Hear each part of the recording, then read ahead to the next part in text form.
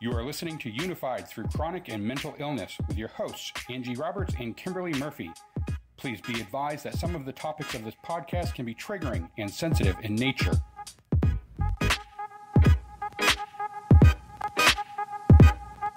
I would love to learn why hatred is triggered so easily.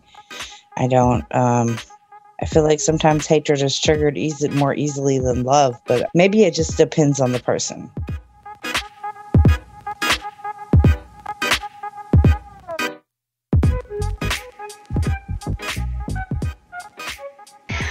Everyone. This is Kimberly. Welcome back to Unified. This week, we're talking about stinking thinking, or more specifically, how to challenge feelings of negativity and create a positive mindset, which, of course, can create a positive life. This is more than just faking happy when things get rough. And there are most likely those of you out there that are skeptical that what you can think can make a real difference. We think we can at least raise your interest by the end of this podcast. See, positive thinking in action. But first, what exactly is negative thinking, Angie?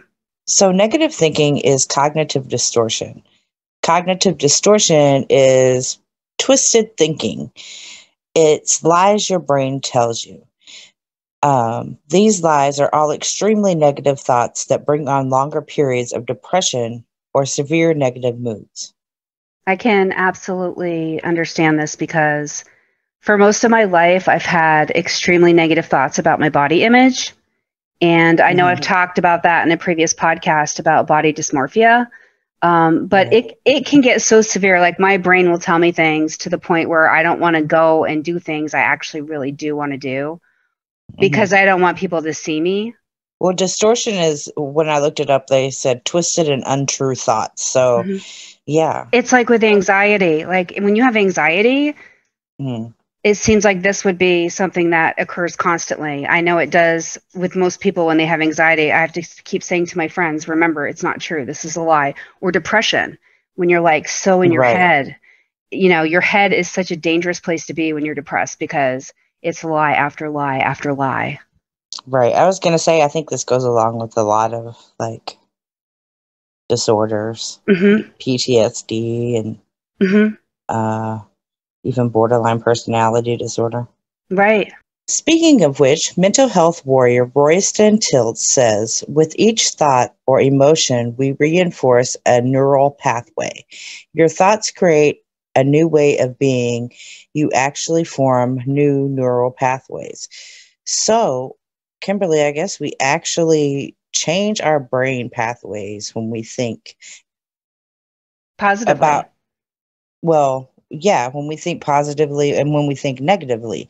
So and how we feel. So uh we've we've got all these negative things going on in our brain. But it can be changed to positive. That's was another thing that i i did learn that the the pathways can if they're not used they kind of go away. Um it's really interesting how um, the brain works. Even up to when they're older, they really can make new neural pathways. And um, sometimes it's just because they don't use it, they're losing it. So, there are actually some ways that negative thinking can affect you as a whole.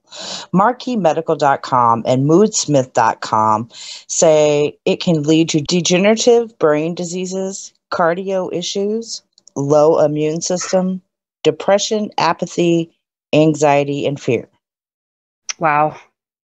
Which, yeah, right. I can see all of that. But degenerative brain disease, wow. Negative thoughts are learned from other kids, teachers, your family members, caregivers, and from prejudice and stigmas in our society. Absolutely. I mean, I mean, how else do you learn to have a prejudice against any group of people? You know, children don't know that. They're taught that it's definitely a learned behavior. It is. And then also like the media. The media will teach us so many things at such a young age. And I'm only going to mention this one thing, but there's so many other things that it could it could apply to, but like women as small girls we're taught that we're supposed to look a certain way.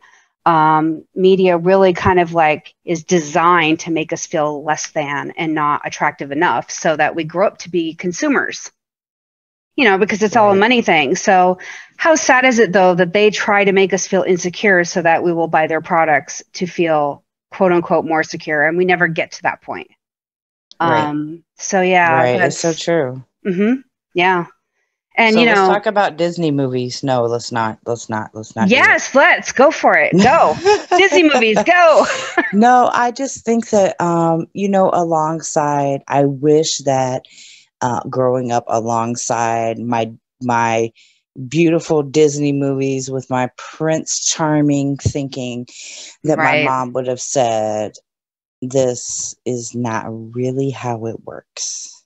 right and thank goodness it doesn't because remember what carly said when she was with us last season I will never forget it. She's like, "Who would want to be Cinderella? This guy didn't even know who she who she was. He had to go around trying on shoes on girls. like, who wants to be with a guy who doesn't even know who you are?" Some guy that just found you out in the middle of the forest and decided to kiss you. That's a little creepy, okay? Right, right. So, like, when you think, right? So, but it's true though, because every Disney movie teaches women that they're going to be saved by some random man who just swoops her off her feet out of nowhere. It and is true. so, girls grow up thinking maybe this is the guy. right know, and they never know. You hear so many people say I am looking for my prince charming i'm looking Yep. for my prince i'm looking for I my fairy tale and well But let's let's flip it too because guys saw the same stories. So they always believe that they had to Right, be that person and uh that's a lot of pressure it is a lot of pressure for a man. so much So- pressure Mhm. Yeah. We still want our Prince Charming though, guys. Just just saying. oh yeah don't yeah i'm single and just leave your And message kiss- below Kissed enough kissed enough frogs. right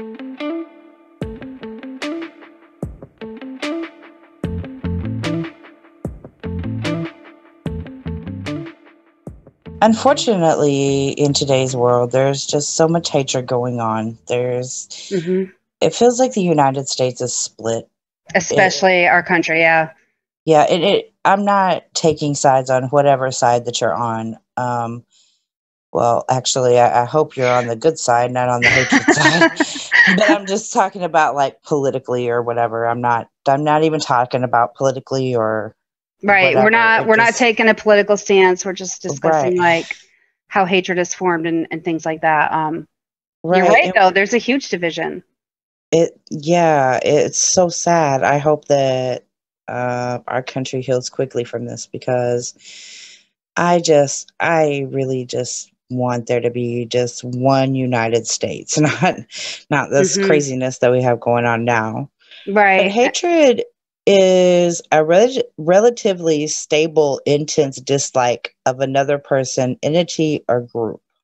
Right. And so we have a lot of that going on in our country right now, race being like the huge problem. And not just race, which is huge, huge, um, affects so many Americans, um, but also the alphabet group, I'm calling them the alphabet warriors. The But, Alphabet um, warriors, Right. But, um, you know, specifically the transgender community who is really fighting for their rights right now in a very hard way because um, they're being discriminated against more so than any of those people, those groups.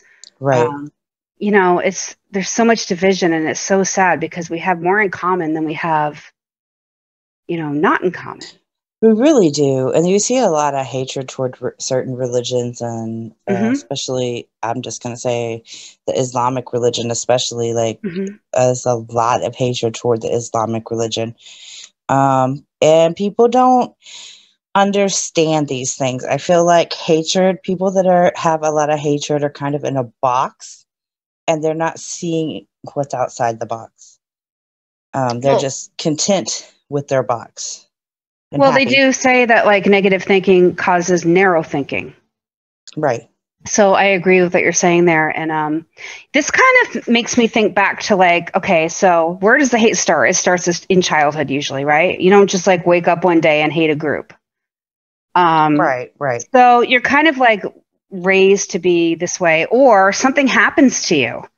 And bullying in school can actually cause somebody to become either, um, you know, the bully is hateful because somebody's bullying them at home, or something's Right. happening and then they're spreading the hate to somebody else who then becomes bullied and maybe later in life is not so nice to other people it can make you either way it can make you more empathetic or it can make you you know um, Apathetic. lack compassion yeah Right. um, were you Yeah, you were bullied in school right you talked about that before I was very bullied in school. And they say hatred is the absence of compassion. And I really truly believe that hmm because it just to have compassion for somebody else and then to bully them or hate on them or whatever, it's you can't do that. You can't have both in the same um, hmm person. Um, yeah, I was bullied all through school. And, you know, a lot of the negative thoughts that I have are the negative thoughts that I was told yeah from the bullies or Yep. um, from the issues with my parents or oh you know just I don't think people understand that when you're told something over and over again, and this goes into toxic relate I mean, so many things, toxic relationships, family issues. You walk around hearing those things in your head. That person's voice is still in your ear. yes Um, and you take it with you. yes you do you. hmm You know, and so it becomes a part of your belief system if you hear it so many times. And it's really hard to let go of. So um, hatred spreads and it's like a disease. It really does spread like a disease.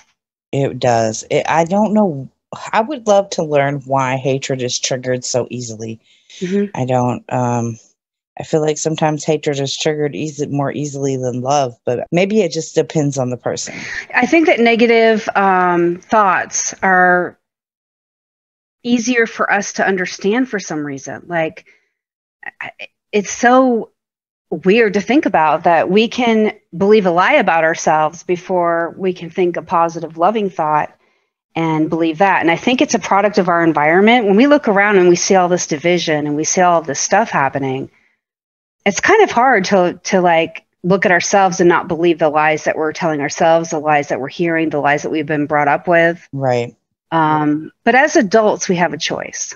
we do have a choice hmm we can get help and we Exactly. can learn how Yep. to fight those stinking thinking moments. exactly. I was reading a really good article in goodtherapy.com when I was researching about why, um, even why people hate another person or group because it, it it's really hard for me to understand. So this is a very interesting this uh this right here has been very interesting for me. So um they say they feel envy for the other people or group, have contempt for another person, or feel they are inferior, learn hatred from parents, their community, or social group, are humiliated or mistreated by another person, which we were just talking about bullying. So, right. Um, I do think, though, that a lot of people learn hatred from their parents um, against social groups. And again, I'm talking about race here. Right. I'm sorry, I have to say it. Um, okay. But some people will grow up thinking that fighting another race is a purpose in life. They are so strong about their belief or religion, same thing. Right. They are so strong, or anti religion, they are so strong about it, they feel like it's their purpose and they're doing good. Well, I have a story about learning hatred from your parents. Uh, Okay. I was brought up in a tiny town in Arkansas where there was like literally no black people, or I mean, no people of color, really. hmm hmm So, um, my dad was born in 1922. My parents were 25 years apart, so that's kind of weird. But my board, my dad was born in 1922, so therefore Wow. he had a different outlook on life. my dad was Mhm. prejudiced. My mom wasn't prejudiced, but she believed that blacks, the races shouldn't mix. That's what she believed. And Mhm. um, I was I was taught this. I was taught the hatred, but I never learned the hatred.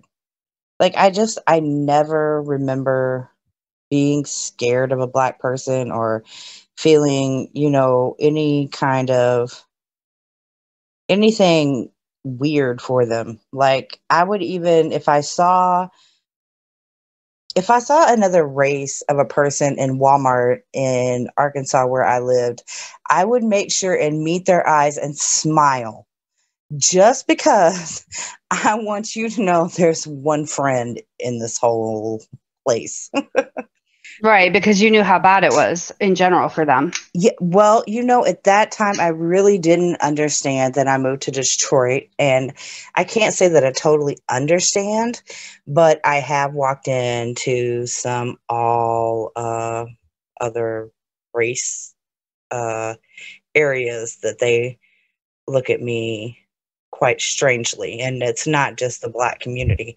It's uh i, mm-hmm. mean i live by detroit. We have lots of communities here. So um they all kind of look at you like what are you doing here?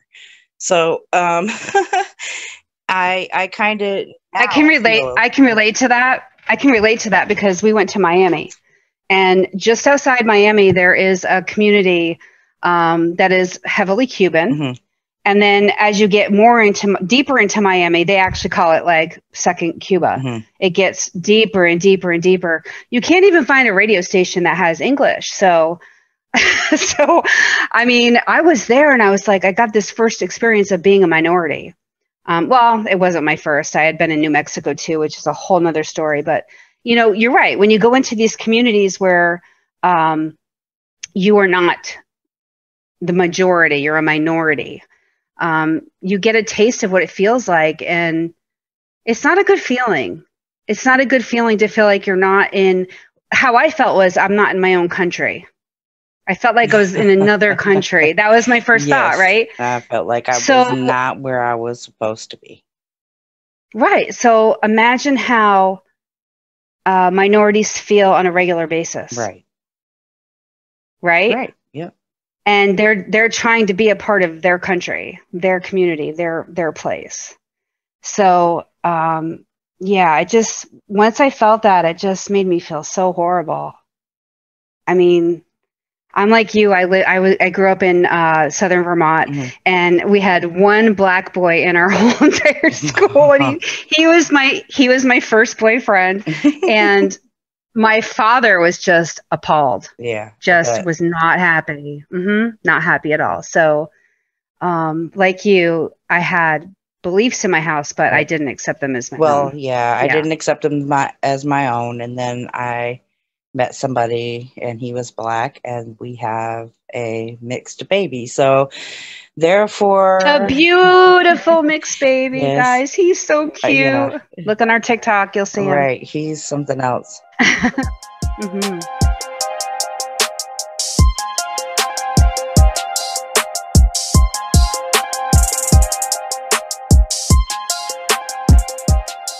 Okay, so you're having these negative thoughts. So challenge yourself.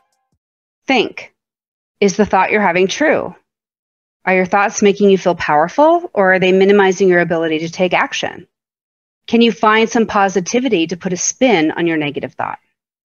Look at the situation to find the silver lining or lesson that you can learn. I love that part because I always try to, even if something is horrible, there's a lesson in right. everything. It can make you a better person. I agree. Mm-hmm even if it's um, not your fault fault right right any negative situation at all you there's something that you can learn in it. Right. How would how would life look differently if you didn't dwell on your negative thought? And mm. right? And how would thinking more positively free you? Mm. is the negative thinking getting in the way of overcoming or addressing your issue head on and is your negativity parlaying you from taking positive action to change? You can find a lot more information about this on chatowl.com. Um, it's a great article. But, you know, the one that really spoke to me was learning something from every negative situation rather mm-hmm. than letting the negativity cause hatred for you. I think that is really uh, important and that's that is really where the positive thinking is. It's not just saying nice things and thinking good mantras and you know meditating. Um, when things get really difficult you can either say this difficult thing caused me to do this bad thing to you or bad thing in general or bad thing to myself to make me worse. Or you can say this this challenging thing I took and molded me for the better. There is a positive that I can learn from this and become a better person. Right. There was a couple that stood out to me. Uh, what the one about how would life look differently if you didn't dwell on your negative thoughts? Oh Mhm. wow, Right. that's like it would probably be a lot less stressful. That's what life would look like. And how would thinking more positively free you? I think they could kind of go together because if Yeah. you're um, if you don't dwell on those thoughts, you are freed. So, I mean, if you're not great at positive thinking, it really it really is mind over matter. It takes practice. Um, but if you have chronic limiting beliefs, it will be nearly impossible to create the life you want and that you deserve. You will constantly sabotage yourself and you won't understand why. But the good news is that limiting beliefs can be changed. The first step is to convince yourself that you deserve it. And that is probably the hardest for most people. Ah, yes, definitely. That's hard for me. It is for me too. convince And myself that I Mhm. deserve anything. Well, when you're thinking negative, it's really it's really hard, right? To say I deserve something. It um, is. but think about it.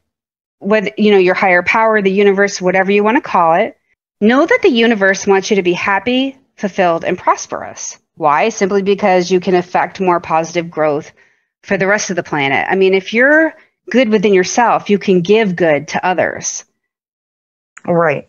If Right? your light is if your light is lit, you can help others in the darkness. Exactly. And right. So why would the universe, higher power, whatever you believe in, be against you on that? You right. know, I think our purpose is to be positive. So think about that for a moment. If you're constantly struggling to make ends meet or feeling drained, feeling stressed by your job or overwhelmed by personal struggles, how much are you able to help others who are even worse situations? Probably not much, right? Um, right. I know we try and we do help, but you know, it's not as much as we want to. If things are going really well for you and you have plenty of resources at your disposal, you can then use those resources to help others and make a real difference. You could find more about this at wingsfortheheart.com. I just thought it was so powerful. And the one thing that really stood out to me was a positive mindset is a growth mindset. It's a growth Right. mindset. It's a growth mindset. And we need to have a growth mindset, not a closed mindset. Exactly. and I think that's what a lot of people miss because they're like, you're just thinking all these happy little butterfly thoughts. No, we're, we're thinking about growth. We're thinking about becoming better people. That is what positive thinking does. I was watching a TED talk the other day with Bruce Pulver, and he said words can truly be our friends or foe. He said there are three things you can ask yourself Is this message true? Should a person say this to another person?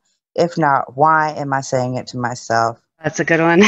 Right. hmm What do I get out of thinking these thoughts? If it makes me feel bad about myself, why not stop thinking about it? That's hard. It is. It's so hard to stop thinking about it when, you know, like we said at the beginning, you actually make the neuron pathways neur- in your brain. So it's like literally you're having to change the neuron pathways. So it's going to take time. But also, he said to develop positive, loving statements to replace negative thoughts, use words like happy, peaceful, loving, enthusiastic, and warm. Avoids word avoid words like frightened upset tired or not never and course can't. Instead of i'm not going to have anxiety today i am going to be peaceful today. Right. right So how does that how does that work though? If you actually have an anxiety disorder, are they saying that if you say that to yourself, it can actually put you in a more calming state? yeah it helps you to change your thinking actually at mayoclinic.com it says researchers continue to explore the effects of positive thinking and optimism on health Health benefits that positive thinking may provide include increased lifespan.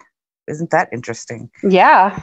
Lower rates of depression, lower rates of distress, a better immune system, better cardiovascular system, better coping skills during hardships and times of stress.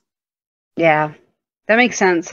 You know, it's funny because they say like um, the people in like Asia, uh, Japan, whatever, um, they have like an increased lifespan. And I think a lot of it has to do with their positive thinking and their meditation. Meditation, right? Right. So, yeah.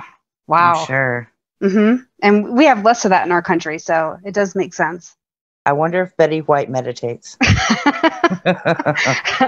I'm sure she does, and she definitely has a positive outlook on things, or at least she does. A sense of humor, which A can help. Sense of humor. Right? Yeah, she's one of my favorites. Me too. I love her.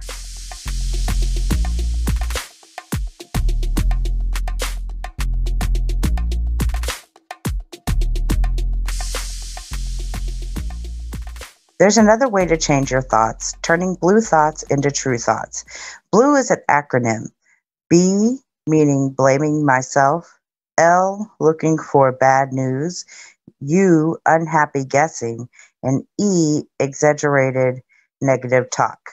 So examples of this is nobody cares about me. You would change that to I am loved by many people. And look for the evidence in that look and tell yourself name the people that you uh, that actually love you Mhm. so that you can always have the evidence to back things up right. right and another one is i can't do anything right there's uh but change that one to there are some things that are hard for me to do Right. I mean, we're And not great at everything. we're not great at everything Right. right um i would also when i was listening to bruce pulver he said actions are supposed to speak louder than words but our words trigger everything which i thought was really interesting well, it also kind of says that in the Bible, right? Your heart equals your words equals your actions. So people say But words mean yes mean yes and no no mean no right, and pe- but people mm-hmm. say words mean nothing. But right the Oh, truth, yeah. the truth always comes out, you know, for good or not, because what is in your heart cannot be hidden for long. So you can say whatever you want, but eventually, the truth will come out, and you will you will say the truth. You can't hide what's in your heart forever. reading in psychology today Oh my God, psychology today. Here we go. no i read in psychology today all the time Um, psychology today needs to sponsor us hi psychology today Hi. right? at least give me a free subscription. no. they say that the good news is that with dedicated practice, you can replace negative thinking patterns with thoughts that actually help. This can make a huge difference in your day to day happiness and comfort. Try these seven ways to manage and decrease negative thoughts. First of all, recognize your thought distortions. Our minds have clever and persistent ways of convincing us of something that really isn't true. hmm That means our minds are lying to us. Right. These inaccurate thoughts reinforce negative thinking. If you can recognize them, you can learn to challenge them. So, the second one is challenging your negative thoughts. So, whenever you have the distorted thoughts, stop and evaluate whether it was accurate. Go back to that list that we had. Is it true? Is it something you should say to somebody else? That list or the list uh, that Kimberly uh, mentioned, look for the evidence. Take a break from negative thoughts. It is possible to learn how to separate from negative thoughts. One way to do this is to allow yourself a certain amount of time, maybe five minutes, with the thought, then take a break from focusing on it and move on with your day. Another way is to release judgment. We all judge ourselves and others, usually unconsciously, um, constantly comparing ourselves to other people, or we compare our lives.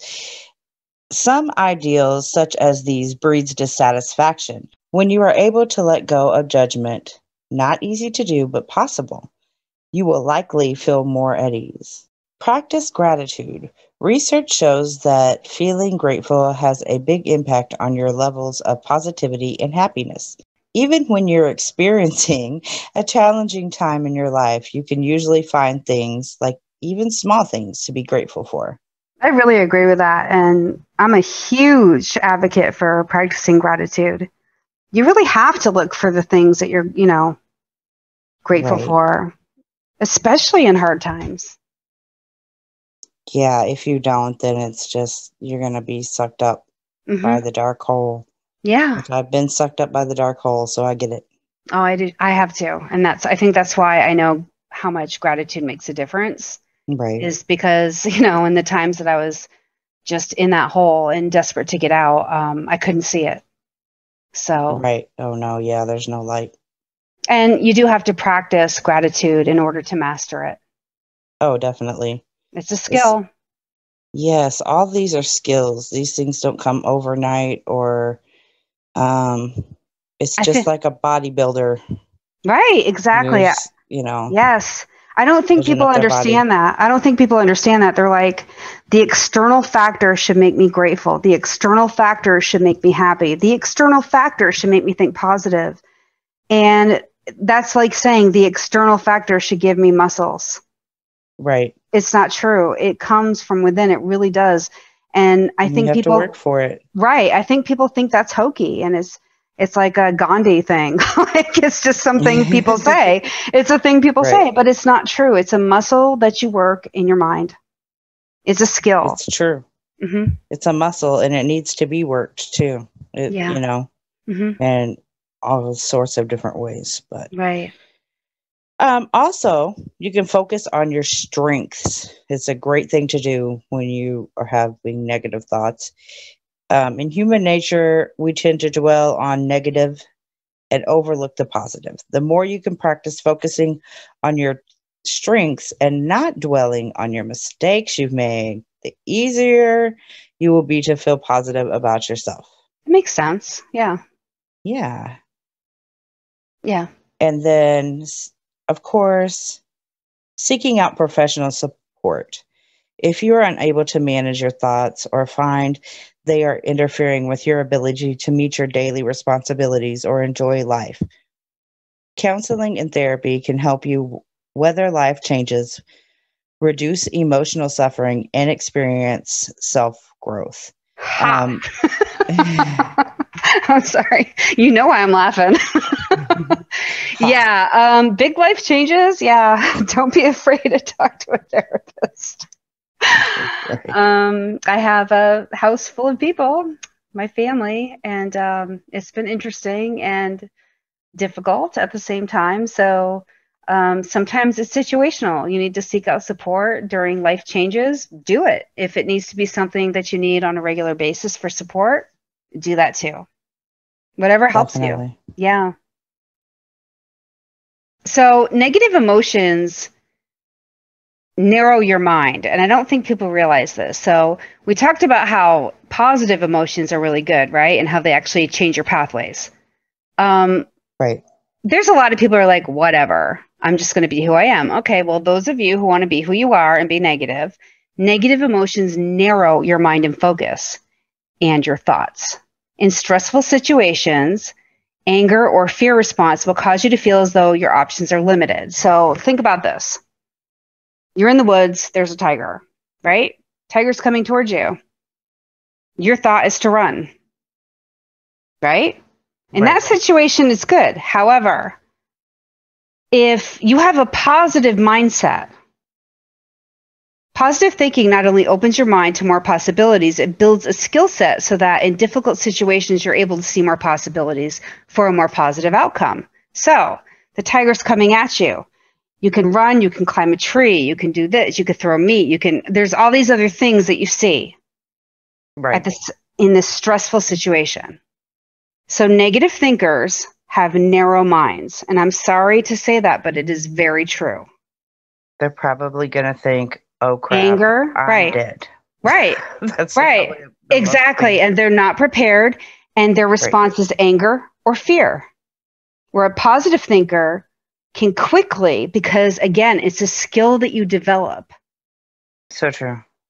a positive thinker can see in a second the whole outcome what's the best outcome and try to go for it.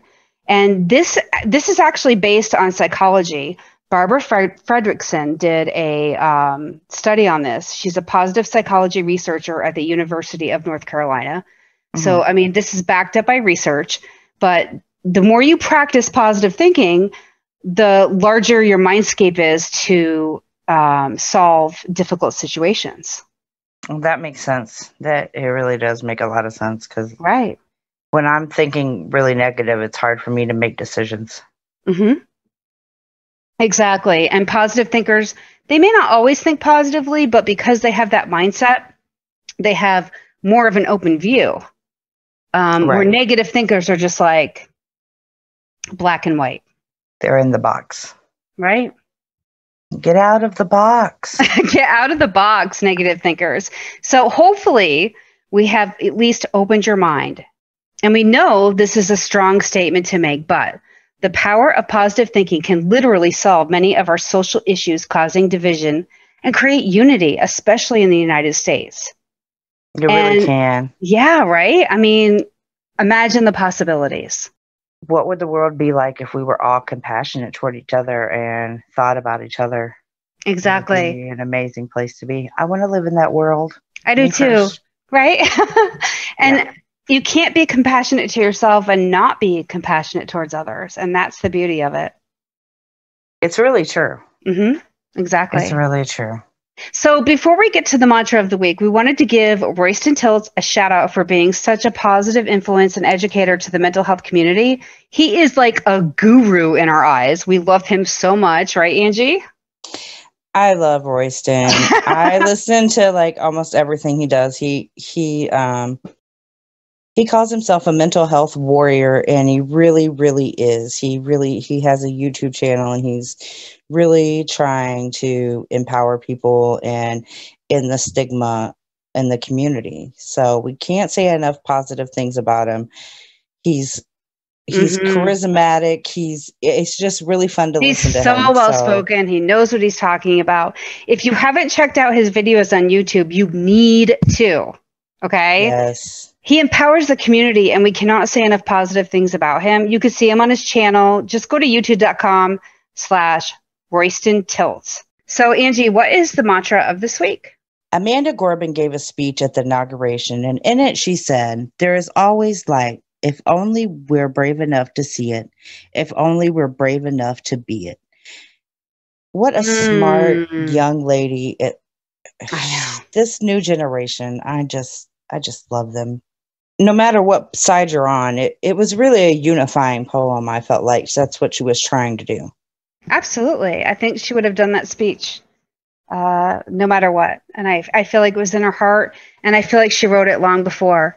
So um, I Right. love her. I just love her. I just love her. I Um, do too. And she's a perfect example of thinking positive. She has a light in her soul. And when you practice that skill and you flex that muscle, your light and your soul grow stronger and stronger.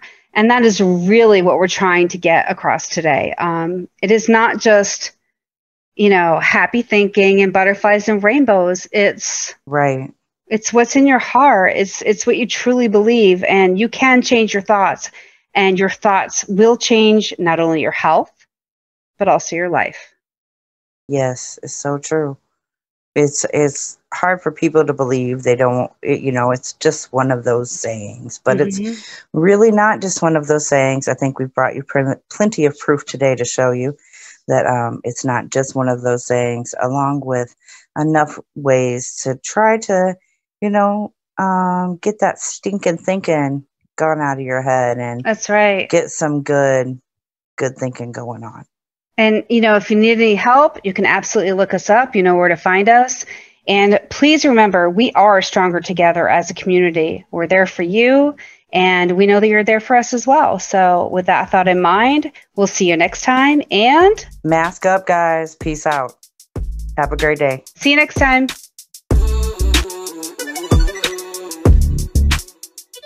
Unified through chronic and mental illness can be found at anchor.fm slash unified. There you can find all social media links as well as other ways to listen.